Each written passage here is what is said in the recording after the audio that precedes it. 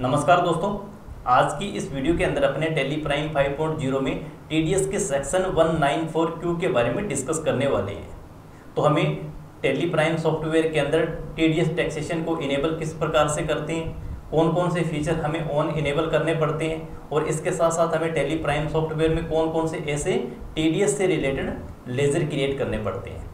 और जो टीडीएस से रिलेटेड टेली प्राइम 5.0 में जो नए चेंजिंग हुए हैं, वो भी आप लोगों को इस वीडियो के अंदर देखने को मिलने वाले हैं। तो वीडियो काफ़ी इंपॉर्टेंट है। वीडियो को आप शुरू से लेके एंड तक कंप्लीट देखना बिना स्किप किए हुए। ताकि आपको पता चल सके कि हम टीडीएस की एंट्री किस प्रकार से करते हैं और उससे पहले इंपॉर्टेंट होते हैं टी के लेजर क्रिएट करना। तो नमस्कार दोस्तों, मेरा नाम है मोहन सुथार और एक बार फिर से आप सभी लोगों का स्वागत है स्मार्ट कंप्यूटर रायसनगर के इस ऑनलाइन प्लेटफॉर्म पर। तो वीडियो की शुरुआत करें, उससे पहले आपसे एक छोटा सा निवेदन भी है, चैनल पर पहली बार आए तो चैनल को सब्सक्राइब ज़रूर कर लेना, क्योंकि आगे भी आप लोगों को इस चैनल पर इसी टाइप की नई नई वीडियो लगातार मिलती रहेगी। और वीडियो पसंद आए तो लाइक ज़रूर कर देना, वीडियो को शेयर भी ज़रूर कर देना। तो सबसे पहले अपने सेक्शन को समझ लेते हैं कि 194 क्यू की जो सेक्शन है, इस सेक्शन के तहत हमें टी काटने की ज़रूरत कब पड़ती है? तो सबसे पहले एक बार इसका जो एलिजिबिलिटी क्राइटेरिया है, उसको समझ लेते हैं। उसके बाद थोड़ा सा अपने इसको एग्ज़ाम्पल के साथ भी समझने वाले हैं। भी इसकी कंडीशन क्या है? इस सेक्शन के तहत टी काटने की। भी ए वायर वो टर्नओवर और ग्रोस रिसिप्ट और sale in the immediately preceding financial year was more than ten crore and या a buyer is responsible for a making payment of a sum of the residence seller and such deduction is to be done for the purchase of goods, for the value aggregate of the value exceeding rupees fifty lakh अब इसको थोड़ा सा अपने example के साथ समझ लेते हैं। यानी कि ऐसा कोई भी बायर ऐसा कोई भी एक खरीदार जिसने अपने सप्लायर से, यानी कि अपने सेंडरी क्रेडिटर से आप इसको समझ सकते हैं सेंडरी क्रेडिटर से अगर कोई पचास लाख रुपए से या इससे ज़्यादा का अगर कोई सामान खरीदे तो उसके बाद में उसके ऊपर 0.1 परसेंट के हिसाब से टी डिडेक्ट करेगा। कौन करेगा? बायर। लेकिन अब इसकी जो कंडीशन है, उसको समझ लेते हैं। यानी कि अपने समझ भी ए है, ये है एक सेलर। यानी कि ये सामान बेचने वाला है और बी है बायर। यानी कि बायर ने बी ने ए से गुड्स परचेज किया है पचास लाख का। या अपने समझ लेते हैं इसको, साठ लाख रुपए का सामान परचेज किया है। तो ये बी की अब लाइबिलिटी रहेगी। बी पचास लाख रुपए तक की इस सेक्शन के तहत एग्जामेशन लिमिट है और उसके बाद में जितनी भी अमाउंट रहेगी, उसके ऊपर इसको बायर को सेलर का टीडीएस है जो डिडक्ट करना पड़ेगा। यानी कि साठ लाख रुपए की टोटल परचेज करी। पचास लाख रुपए की जो इसकी एग्जामेशन लिमिट है तो पीछे बच गया दस लाख। तो यानी कि इस दस लाख रुपए के ऊपर ज़ीरो पॉइंट वन परसेंट के हिसाब से अब ये बी ए का टी डी एस डिडेक्ट करेगा section one nine four Q के अंडर में। लेकिन अब इसकी बी की भी कुछ कंडीशन होती है। अब बी की इसके अंदर कंडीशन क्या है? भी बी की जो पिछले फाइनेंशियल ईयर है प्रेजेंट फाइनेंशियल ईयर की टर्नओवर इसके अंदर एड नहीं होगी, जो प्रीवियस फाइनेंशियल ईयर है, यानी कि जैसे तेईस, चौबीस हो गया या बाईस, तेईस हो गया, बीस, इक्कीस हो गया, उस फाइनेंशियल ईयर के दौरान अगर बायर की जो टर्नओवर है वो दस करोड़ से ज़्यादा की है, यानी कि दस करोड़ से ज़्यादा की है, तब बायर के ऊपर ये लाइबिलिटी बनती है भी वो सेलर का टी डी डिडक्ट करेगा। अगर बायर की जो टर्नओवर है वो दस करोड़ नहीं है, यानी कि दस करोड़ से कम है और उसने सेलर से साठ लाख रुपए का सामान परचेज कर लिया। तो इस कंडीशन में क्या करेगा? सेलर जो इनवॉइस देगा अपने बायर को, अपने कस्टमर को, उसके ऊपर टीसीएस कलेक्ट करेगा। किस कंडीशन में? अगर बायर की पिछले फाइनेंशियल ईयर के दौरान जो उसके टर्नओवर है वो 10 करोड़ से कम की रही है तो। अगर 10 करोड़ से ज़्यादा की है तो इस कंडीशन में बायर की रिस्पॉन्सिबिलिटी बन जाती है, इसकी लाइबिलिटी बन जाती है भी वो अपने सप्लायर से। अगर उसने 50 लाख से ज़्यादा का कोई गुड्स परचेज किया है तो 50 लाख को छोड़ के उसके ऊपर की अमाउंट के ऊपर उसको T D S one nine four Q section के तहत ज़ीरो पॉइंट वन परसेंट का टी डी एस है जो डिडक्ट करना पड़ेगा। आई होप कि आप इस बात को अच्छी तरीके से समझ गए होंगे। अब अपने चलते हैं टेली सॉफ्टवेयर में। अब टेली सॉफ्टवेयर के अंदर सबसे पहले अपने को टी डी एस के टैक्सेशन ऑप्शन को इनेबल करना पड़ेगा। तो इसके लिए अपने को एफ़ ग्यारह बटन प्रेस करना है और एफ़ ग्यारह बटन प्रेस करेंगे तो आपको इस टैक्सेशन में enable tax deduction at source यानी कि ये टीडीएस का ऑप्शन आपको यस करना है। जैसे अपने यस करेंगे तो जो हमारा टेन नंबर होगा, यानी कि जो टीडीएस का जो नंबर अपने कह सकते हैं टेन नंबर वो अपने को यहाँ पर लिखना पड़ेगा। मैं यहाँ पर लिख देता हूँ। ठीक है? और उसके बाद में यहाँ पर tax detector and collector accounts number ten तो आप सेम ही आ जाएगा, कोई दिक्कत नहीं है। उसके बाद में जो डिटेक्टर टाइप यानी कि अब मान लीजिए हम बायर हैं, और हमारी जो डिटेक्टर टाइप हम क्या है कंपनी है या फिर नॉन कंपनी है। कंपनी है तो आपको कंपनी रखना है। अगर आप कंपनी के अलावा इंडिविजुअल अचीव हो तो आप इंडिविजुअल को सिलेक्ट कर सकते और उसके बाद में जो डिटेक्टर की ब्रांच डिवीज़न, वो आप यहाँ डाल सकते हो, इनकम टैक्स के अकॉर्डिंग। और उसके बाद में जो रिस्पॉन्सिबल पर्सन है, जो टीडीएस डिपार्टमेंट को आपके कंपनी का देखता है, उसका डिटेल यहाँ पर आ जाएगा, प्रॉपर नाम सन ऑफ़ उसका रजिस्ट्रेशन पेन नंबर, सारी डिटेल। ठीक है? और उसके बाद में आपको कोई फीचर्स को यस नो नहीं करने इंटरप्रेस करते हुए आपको एक्सेप्ट करते हैं। तो टी टैक्सेशन को इनेबल करने के बाद, अब हमें जो टीडीएस से रिलेटेड कुछ इसकी नेचर ऑफ़ पेमेंट है, वो हमें क्रिएट करनी पड़ेगी और उसके बाद में लेज़र भी क्रिएट करने पड़ेगी। तो सबसे पहले अपने को क्रिएट पे चलते हैं और यहाँ पर T D S nature of payment यहाँ अपने को आना है और यहाँ अपने को क्रिएट करना है। अब टेली 5.0 के अंदर आपको एक ऑप्शन यहाँ पर नया देखने को मिलने वाला है, वो है हेल्पर का। अभी तक अपने क्या थे, यहाँ पर टेली प्राइम सॉफ्टवेयर के अंदर मैनुअली टाइप करते थे। जो भी हमारी सेक्शन थी, उस सेक्शन का नाम हमें मैनुअली लिखना पड़ता था। लेकिन अब नए रिलीज़ के अंदर आप हेल्पर का भी यूज़ कर सकते हो। जैसे आपने हेल्पर का यूज़ किया, आपके सामने टीडीएस से रिलेटेड जितनी भी सेक्शन होती है, वो सॉफ्टवेयर ने यहाँ आपको प्रोवाइड करवा दी है। अब हम जो सेक्शन यूज़ करने वाले हैं, कौन सी? 194 क्यू की। तो आप यहाँ पर 194 क्यू लिख सकते हो। तो यहाँ आप देख सकते हो कि payments of some purchase of goods enter press करेंगे तो जैसे अपने इंटरप्रेस करेंगे, इसकी जो सेक्शन है और इसकी जो पेमेंट कोड है, वो आप दोनों ऑटोमेटिकली यहाँ पर आ गई है। और उसके बाद में इसका कोड अपने डाल देंगे 200 और उसके बाद में जो टी डी एस डिटेक्ट करना कर डिटेक्ट करने की जो रेट है, वो हमें यहाँ लिखनी है। अभी विद पेन के साथ अपने को कितना करना है? ज़ीरो पॉइंट वन परसेंट और विदाउट पेन पाँच परसेंट इसी तरीके से रेट ऑफ़ अदर डिडेक्ट यानी कि जो कंपनी वगैरह रहेगी, उनके लिए क्या रहेगा? सेम ही रहेगा। भी ज़ीरो पॉइंट वन परसेंट तो रहने वाला है पेन नंबर के साथ में और विदाउट पेन रहेगा पाँच परसेंट। और उसके बाद में इसकी जो हमारी एग्जामेशन लिमिट है, कितनी लिमिट है? अभी पचास लाख रुपए तक की इसकी लिमिट है। तो हमने पचास लाख रुपए दे दी और यह एक ऑप्शन आएगा। भी calculation tax on value exceeding the. Threshold यानी कि एग्जामेशन लिमिट, यानी कि पचास लाख रुपए की अमाउंट को क्रॉस करने के बाद में टी डिटेक्ट होना चाहिए, बिल्कुल होना चाहिए तो इस ऑप्शन को अपने को यस रखना पड़ेगा। और अपने को एफ़ बारह बटन प्रेस करना है और यहाँ पर एक ऑप्शन आ जाएगा allow calculating tax on exam इसको भी आपको यस कर देना है। और इसके बाद में अपने को एक्सेप्ट करना है। तो अब हमने टीडीएस की नेचर ऑफ़ पेमेंट वो हमने क्रिएट कर ली है। अब हमें क्या करना होगा? सबसे पहले हमें एक सप्लायर का लेज़र क्रिएट करना होगा, जिससे हमें गुड्स परचेज करना है क्रिएट पे जाना है लेज़र पे जाना है। तो मैंने यहाँ पे X Y Z trading company के नाम से मैंने कहा लेज़र क्रिएट कर दिया। तो अब ये मेरे लिए रहेंगे सैलरी क्रेडिटर क्योंकि मेरे सप्लायर हैं। और उसके बाद में यहाँ पूछा जाएगा भी टी डी एस डिडेक्टेबल भी इस सप्लायर का, आप टी डी एस काटोगे? बिल्कुल काटेंगे तो इसको यस करना पड़ेगा।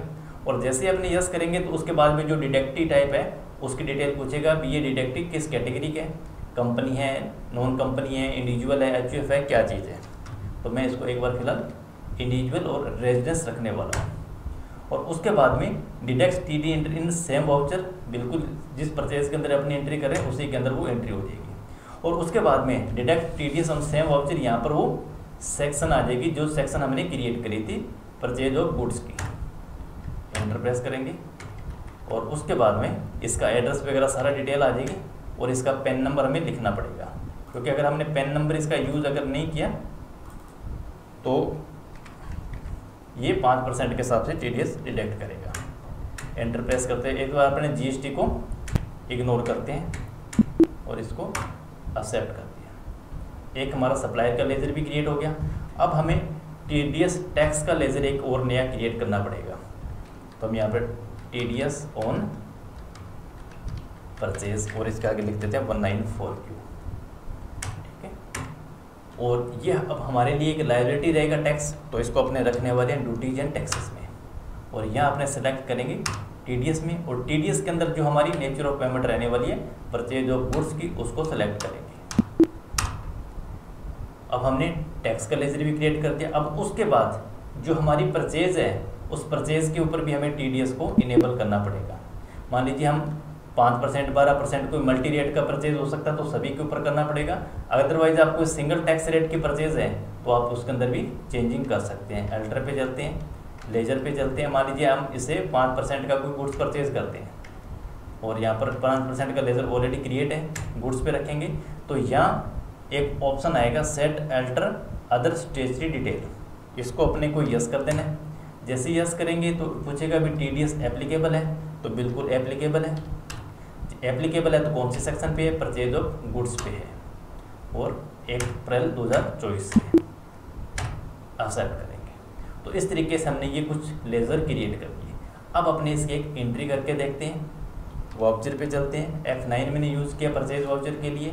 और तारीख अपने यहाँ पर दे देते हैं। बारह अगस्त की। वाउचर नंबर यहाँ पर आ जाता है। यहाँ पर हमने एक्स ट्रेडिंग कंपनी का जो लेज़र क्रिएट किया था, और यहाँ पर हमारे प्रोडक्ट की जो नाम है वो आ जाएगा क्वांटिटी अपने डाल दी। अब एक बार अपने इसको एग्जांपल समझने के लिए मैं एंट्री यहाँ पे डाल देता हूँ, चालीस लाख रुपए की। ठीक है, पाँच परसेंट की परचेज आ गई। पेमेंट ऑफ़ ये ऑटोमेटिक यहाँ पे आ जाएगा परचेज ऑफ़ गुड्स का।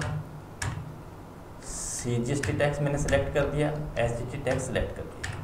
ठीक है? और अब मैं यहाँ पर टी डी एस जो अभी अपने लेजर क्रिएट किया था T D S on purchase one nine four Q का जो हमारी लाइबिलिटी रहेगी, उसको मैंने सेलेक्ट कर दिया।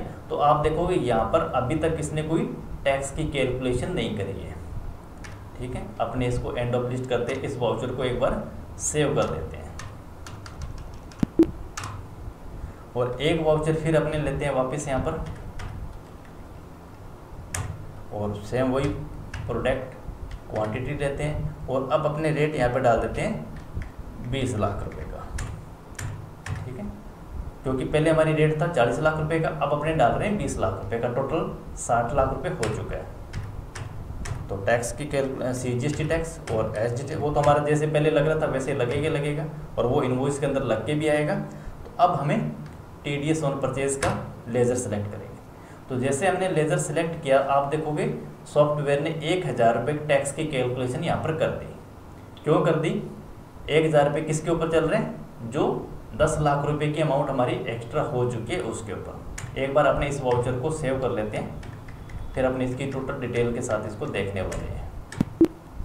एंटर सेट कर दिया। ठीक है? अब अपने एक बार एक्स वाई जेड का लेज़र ओपन करके देखते हैं। दो इनवॉइस आए थे, ठीक है? और इस इनवॉइस के अंदर इंटरप्रेस करेंगे, जो पहली अमाउंट हमारी है, वो थी चालीस लाख रुपए की। क्योंकि जो 194 क्यू जो आपका टी डी एस डिडेक्ट होना है ना, वो टैक्सेबल अमाउंट पे होना है। उसके अंदर C G S T H G S T की अमाउंट है जो, ये एड नहीं होनी है, ठीक है ना? तो ये 40 लाख रुपए की पहले इनवॉइस के अंदर वैल्यू आ गई। उसके बाद में दूसरी वैल्यू थी बीस लाख रुपए की। तो यानी कि चालीस और बीस साठ लाख रुपए हो गई और हमने जो लिमिट दी थी, जो इसकी देर छोड़ लिमिट है एग्जामेशन लिमिट है, वो थी पचास लाख रुपए की तो साठ लाख में से पचास लाख रुपए माइनस हो गई और उसके बाद में पीछे बच गया दस लाख रुपए और उस दस लाख के रुपए के ऊपर पॉइंट वन परसेंट के हिसाब से एक हज़ार रुपये का टीडीएस सॉफ्टवेयर ने ऑटोमेटिकली डिटेक्ट कर दिया। अब अपने टीडीएस की रिपोर्ट को चेक करते हैं। अब टीडीएस की रिपोर्ट को चेक करने के लिए डिस्प्ले पर चलते हैं स्टेशनरी रिपोर्ट पे चलते हैं और यहाँ पर टीडीएस रिपोर्ट को ओपन करते हैं। और फॉर्म 26 क्यू को ओपन करेंगे और अपने यहाँ पर टाइम पीरियड दे देंगे कौन से मंथ का डाटा था। तो यहाँ पर भी टेले उसके जीएसटी के तरीके से हम, हमारी जो अनसर्टेन ट्रांजेक्शन है, वो ज़ीरो रहनी चाहिए। तो अब यहाँ पर भी आप देखोगे, जो इसकी असेसेबल वैल्यू है वो दस लाख रुपए की है और जो टैक्स डिडक्टेबल है, एक हज़ार रुपये का। और हमने डिडक्ट कितना किया है? एक हज़ार रुपये का। ठीक है ना? तो ये यहाँ पर इसकी जो लिमिट थी अंडर एग्जाम्सन लिमिट थी वो पचास लाख रुपए की थी। तो साठ लाख रुपये पचास लाख माइनस तो दस लाख के रुपए के ऊपर इसने टी डिडक्ट कर दिया। अब ये जो एक हज़ार रुपये का जो टी डिडक्ट हुआ है, अब ये कहाँ जाएगा? हमारी बैलेंस शीट में। बैलेंस शीट पे चलते हैं। एल टैप वन की डिटेल के साथ देखते हैं। तो अब हमें कहाँ देखने को मिलेगा? ड्यूटीज़ एंड टैक्सेस में। तो अब ड्यूटीज़ एंड टैक्सेस में देखोगे तो यहाँ पर जो लेज़र हमने क्रिएट किया था T D S on purchase one nine four Q का तो ये अब हमारी लाइबिलिटी यहाँ पर बन चुकी है एक हज़ार रुपये की डिपॉजिट करवाने की। और ये हमारा था सी जी एस टी और एच जी टी टैक्स का आई टी सी जो हमें परचेज इनवॉइस पे मिला था। और अब जो एक हज़ार रुपये की हमारा, ये जो टैक्स हमने डिडक्ट किया अभी इसको हमें डिपॉजिट कराना पड़ेगा। अब डिपॉजिट कराने के लिए आप चाहे तो सिंपल एंट्री भी कर सकते हो वाउचर में जाके एफ़ फाइव के अंदर अपनी एंट्री कर सकते हैं। अदरवाइज़ अपने टी रिपोर्ट पे भी जाके इसकी एंट्री कर सकते हैं। टी पे गए फॉरम छब्बीस क्यू पे ओपन किया। तो यहाँ हमें स्टेट पेमेंट ऑप्शन देखने को मिलेगा एस के साथ। तो यहाँ पर टैक्स टाइप टी और उसके बाद में जो पीरियड फ्रॉम रहेगा हालाँकि हमने अगस्त मंथ के अंदर टी को डिडक्ट किया तो एक अगस्त से लेकर अपने इकतीस अगस्त का टाइम देंगे। और यहाँ पर जो डिडक्टेड टिल डेट है, वो आज की डेट ही आएगी। हालाँकि जब ये हमारा अगस्त मंथ कंप्लीट हो जाएगा, जैसे हमारा सितंबर मंथ आएगा तो यहाँ पर हमें जो डेट देनी पड़ेगी, वो इकतीस अगस्त देनी पड़ेगी। लेकिन अभी ये इकतीस अगस्त को पिक नहीं करेगा, क्योंकि टिल डेट तक मतलब क्या आज की डेट तक। तो हमें बारह अगस्त तारीख आज की देनी पड़ेगी। सेक्शन इसने ऑटोमेटिक पिक कर लिया वन का। नेचर ऑफ़ पेमेंट इसने ऑटोमेटिक परचेज सेलेक्ट कर लिया परचेज ऑफ़ गुड्स वाला। उसके बाद में जो डिडक्टी है यानी कि जिसका टीडीएस कटा है वो क्या है कंपनी है या फिर नॉन कंपनी है। और उसके बाद में आप जो एक हज़ार रुपये जमा करा रहे हो, बाई कैश करा रहे हो बैंक के साथ करा रहे हो तो अपने बैंक को सिलेक्ट करेंगे। और जैसे अपने बैंक को सिलेक्ट किया, इसने पेमेंट वाउचर के अंदर 12 अगस्त के अंदर इसने एंट्री यहाँ पर कर दी। तो यहाँ आप देखोगे टी डी परचेज का अकाउंट है, वो हमारा डेबिट हो जाएगा और एसबीआई बैंक का अकाउंट है, वो क्रेडिट हो रहा है। इसको अपने सेव कर देंगे। तो जैसे ही अपनों ने इसको सेव कर दिया, एक बार अपने चलान रिकन्सलेशन पे जाके चेक करते हैं, चलान अभी भी हमारा अधूरा आ रहा है। तो अब हमें इस चलान को अपडेट करना पड़ेगा। अब अपडेट करने के लिए हमारे पास ऑप्शन रहेगा रिकनसेल का। जैसे अपने रिकनसेल पे क्लिक करेंगे और अपडेट डिटेल पर क्लिक करेंगे तो ये हमारा क्वार्टर फ्रॉम डेट आ जाएगा कब से लेके कब तक आ जाएगा। एक अगस्त से लेकर ये इकतीस अगस्त तक है। बैंक हमारा एसबीआई है। ब्रांच का जो भी हमारा नाम रहेगा वो आ जाएगा। बी एस आर कोड वगैरह हम यहाँ पर डाल देंगे। चलान नंबर क्या आया था उसके अंदर वो हम डाल देंगे। चलान की डेट क्या है वो अपने डाल देंगे। तो ये डालेंगे तो ये सारा का सारा ये हमारा डाटा अपडेट हो जाएगा। ठीक है? और इसको अपने एक्सेप्ट कर देंगे।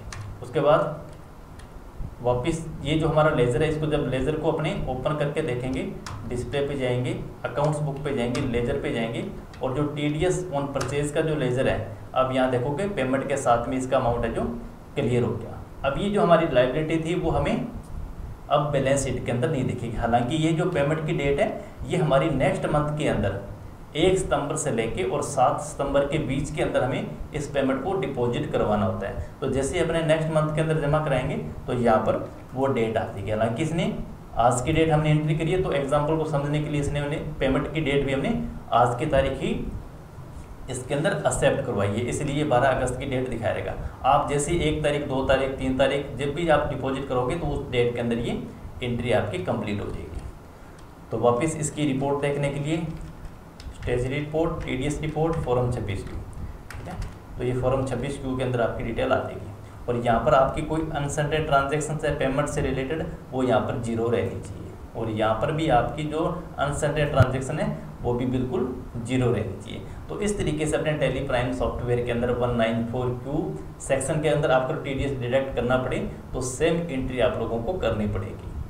वीडियो अगर आपको इन्फॉर्मेट लगी हो नॉलेजेबल लगी हो तो वीडियो को आप लाइक ज़रूर कर देना, वीडियो को शेयर भी ज़रूर कर देना, और चैनल को अभी तक आपने सब्सक्राइब नहीं किया तो प्लीज़ वो भी ज़रूर कर देना क्योंकि आगे भी आप लोगों को इस टाइप की नई नई वीडियो और भी हम लगातार देते रहेंगे।